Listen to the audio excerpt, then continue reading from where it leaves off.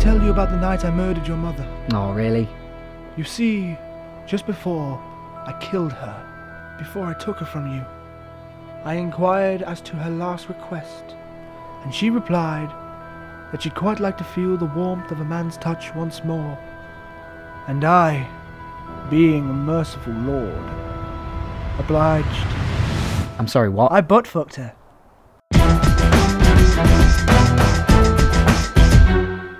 Bookface. The boy who lived